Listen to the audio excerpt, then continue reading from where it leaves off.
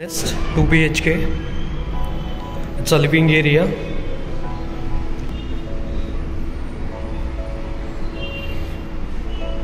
This a kitchen.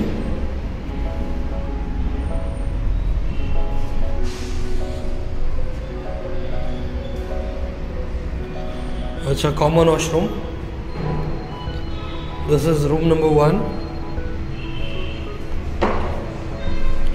Uh, attached washroom in room number one.